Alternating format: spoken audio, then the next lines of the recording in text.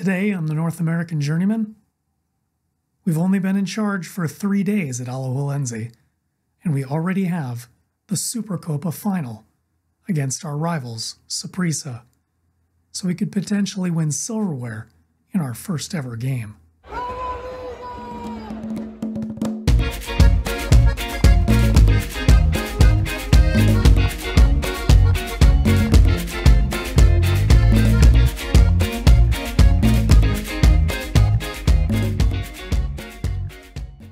Is, July 13th. We got hired on July 10th. And the day after this friendly. So no time to schedule any friendlies. We haven't we've had time to hire staff. I hired up a full staff and look how good they are.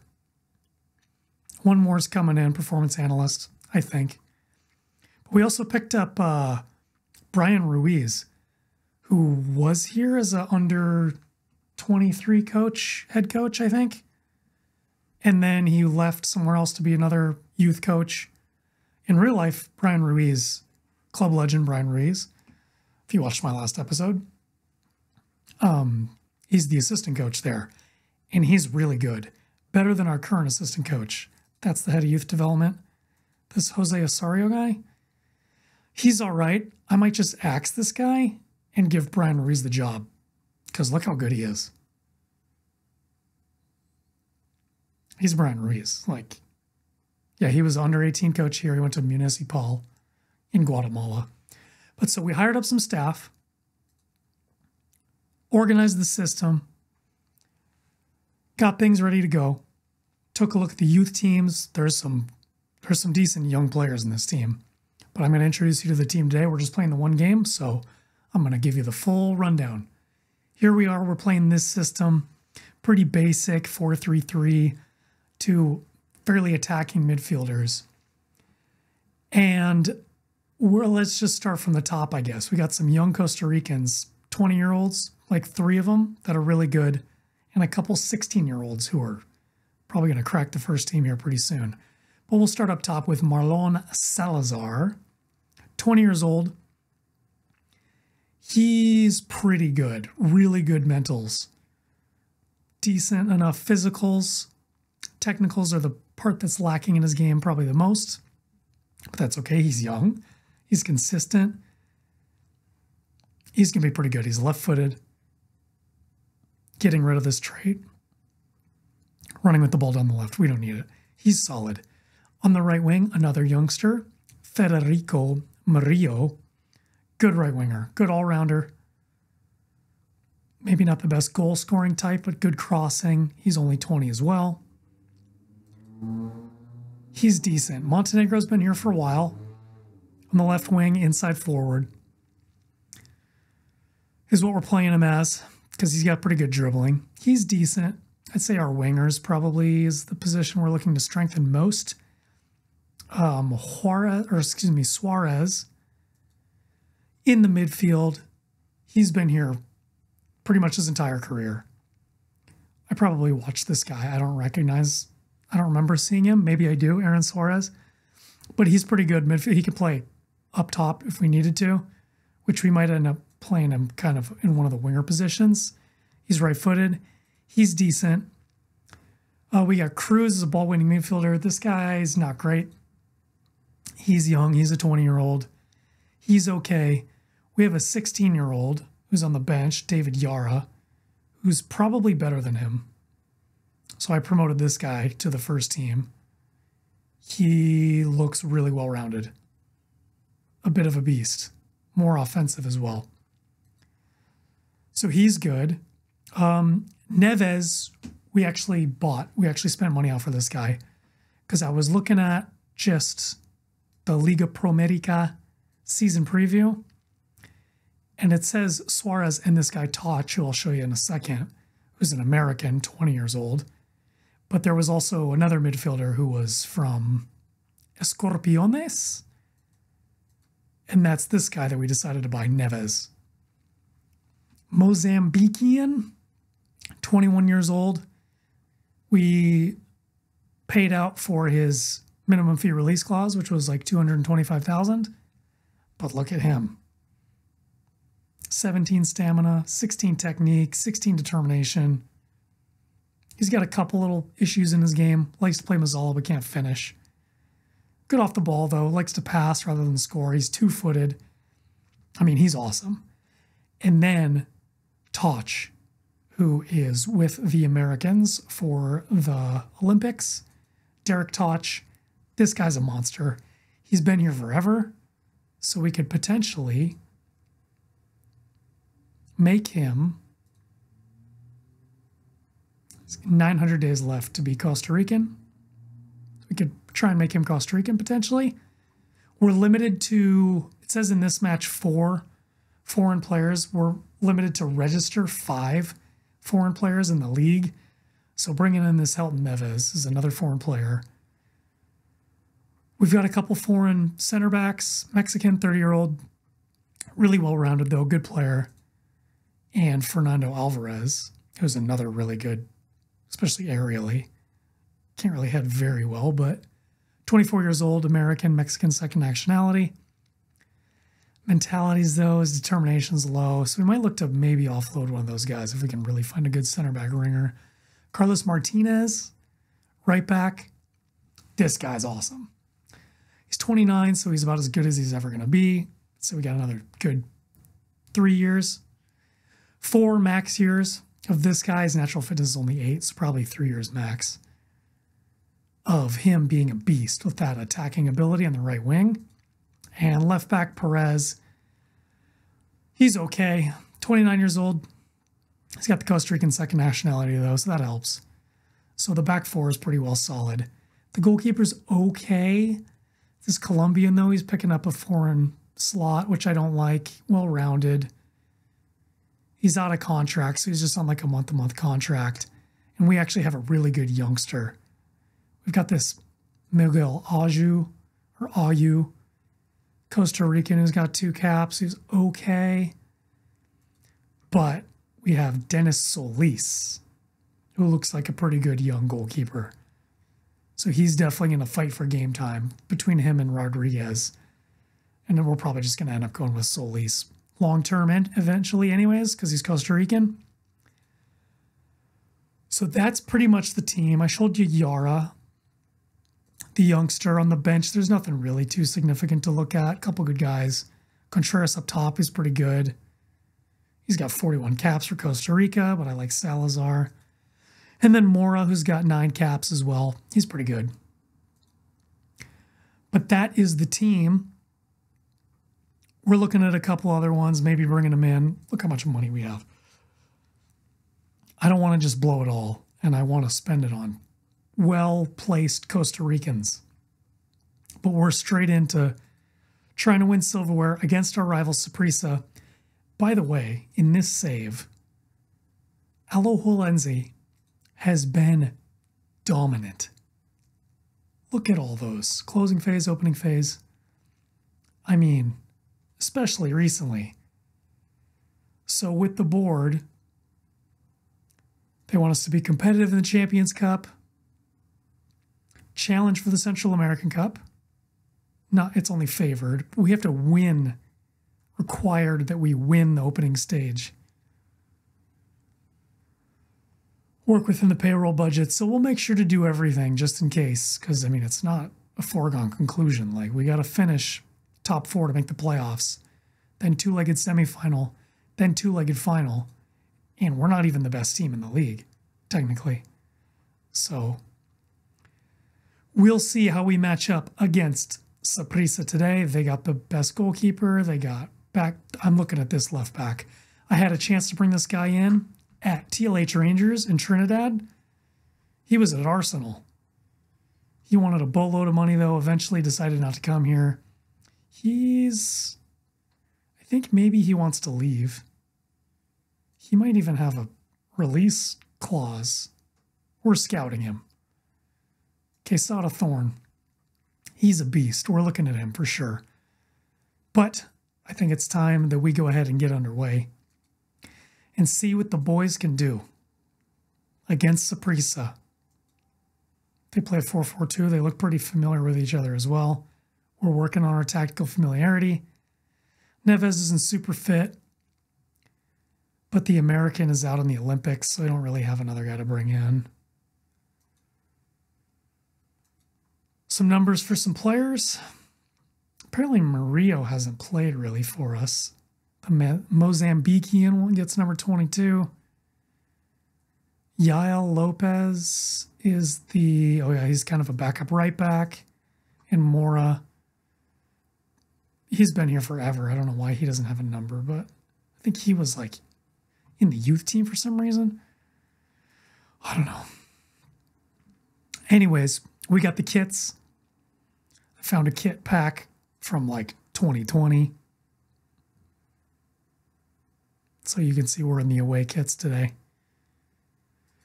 Go out there, play for the fans. The team doesn't like me. The dynamics, which isn't good. I think we already did this. All right. Boom. Oh, we're playing in the National Stadium, so it's packed out. They're playing a couple youngsters up top. I recognize Chirinos. He plays for the national team.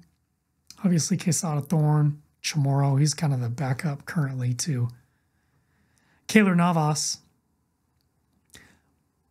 But let's make it happen. I got to change the numbers on these kits so you can actually see them. Are we on extended? Yeah, it's just one game. We'll go extended. It's the Super Copa.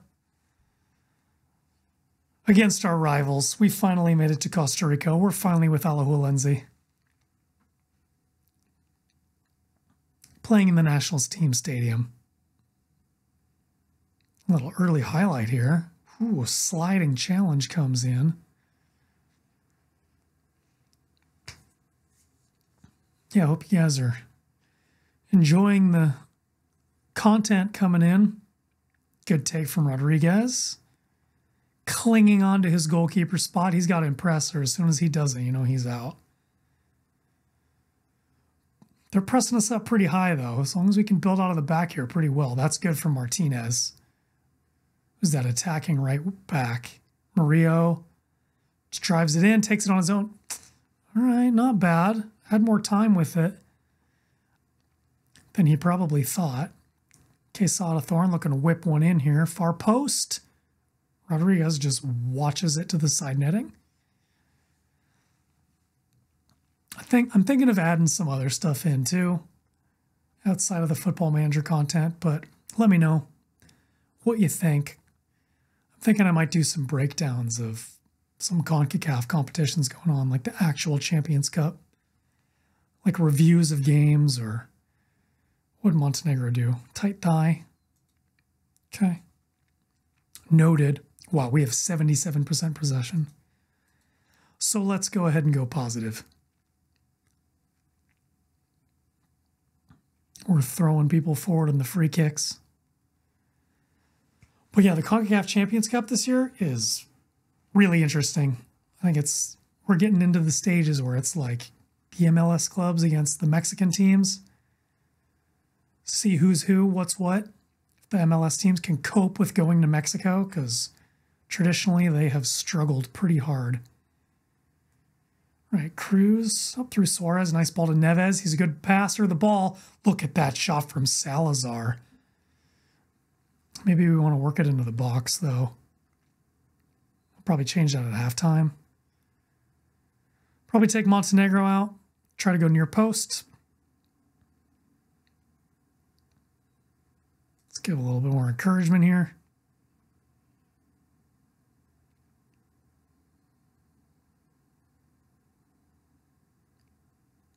Yeah, packed stands.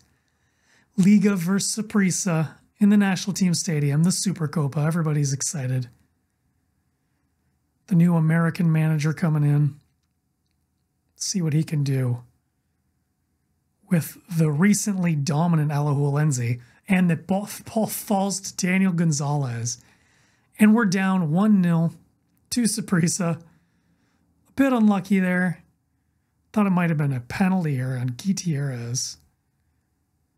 Playing two young strikers, so we might need to take a look at these two boys. Why is, yeah, why is Pinuelas coming across there? He does not need to do that.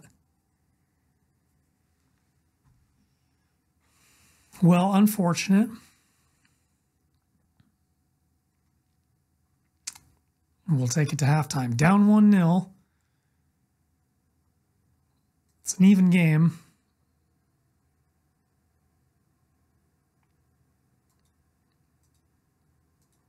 Yeah, not happy, not happy, not happy. Okay, what do we want to change here? We're definitely doing all this. Yeah, we are working the ball in the box, so that's fine. Pressing up. Montenegro, I guess, can come out. Yeah, Contreras can play it. And we got Mora as well. Could maybe come in from Rio.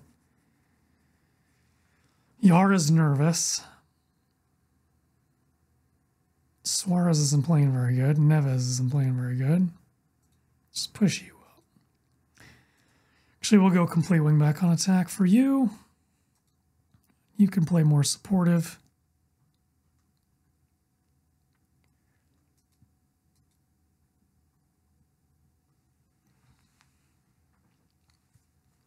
Can't lose our first game in charge. I mean, it's a new system, it's a new coach, it's, you know, it's understandable. Their goal was a bit lucky, but hopefully we can do something here. Turn this thing around. Neves is dead.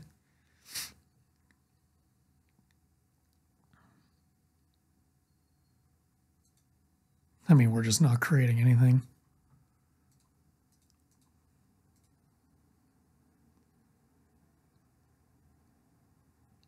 Come on, Salazar. Probably go two up top here.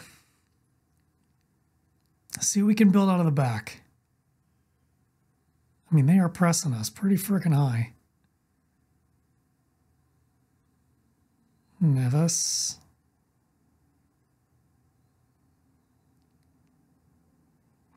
Loses it. All right, Suarez holds it in, though, in the midfield. Drives forward down the right wing. What can he do? He's going to go for a cross here, probably. Martinez, pull it back. Neves takes a shot. That's just not what we want you to do at all. All right, we're bringing the youngster Yar in. He's coming in for Neves, and we're going two up top. We're going here. Because I think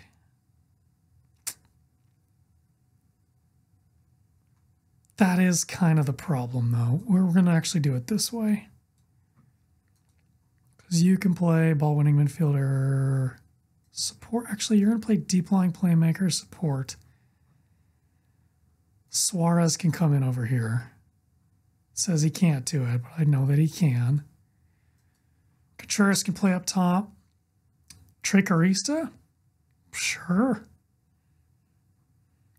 Sure thing, son. Sure thing. And then Bernal Alfaro is definitely a ball winning midfielder. He can anchor even.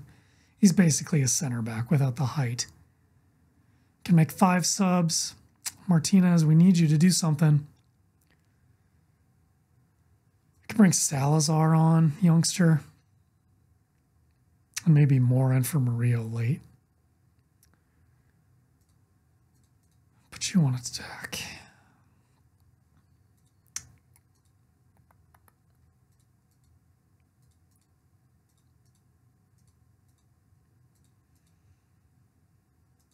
Yep. All right.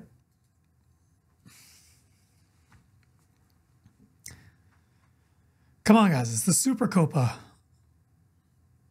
in the national team stadium, which I walked around a couple times. Can't really see too much of it from the outside, unfortunately. Because there's no elevation really near the stadium. I mean, one shot, one goal for them one shot, nothing for us. Okay, boys. All right, Suarez is annoying.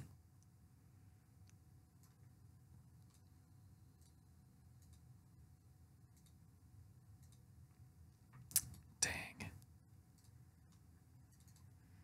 Dang, boys, dang. What are we doing here?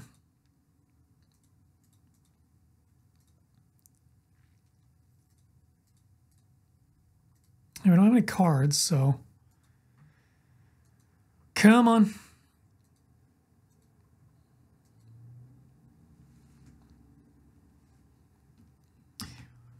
Well, it's unfortunate. I don't think we're going to be able to do anything in this game. Demand more.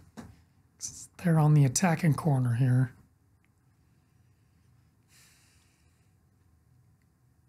Header away. They've got numbers still in the box, though. When you tackle, nope. Trinos is just all on his own. He's offside. Very attacking. Might as well just throw everything at it. We're just not doing anything. I mean, come on, guys. Like,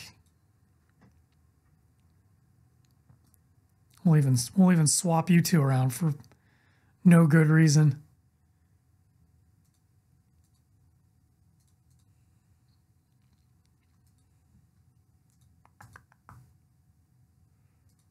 We're just doing everything. I usually don't go crazy like this. But when you only have one shot, like, come on. Push up the field. Do a little something. No, they've had more chances since we've done this. Okay. Unless we can grab one late here at the death. Can we get them? Looks like they're going to counter on us instead. Unless Alfaro can hold it in. He does through Salazar. We play it forward. We got numbers. Suarez get the ball upfield quick. It's just a yellow. Free kick. And the dying embers of the game. He lifts it in. Our goalkeeper's forward. And we get to see nothing. Saprissa. Hopefully, this isn't a sign of things to come. That's not a good Come on, why are you dribbling? Mora, can he hold it in? Can he get a ball in? Get it into the box. Come on, there's no time left. Straight at the goalkeeper. Full time whistle. Supercopa de Costa Rica goes to the purple monster of Saprissa. Damn. Hopefully, this isn't a sign of things to come we had a chance to win silverware in our first game in charge. And instead, Saprissa lifts it in our face. All right. Well, nobody said it'd be easy.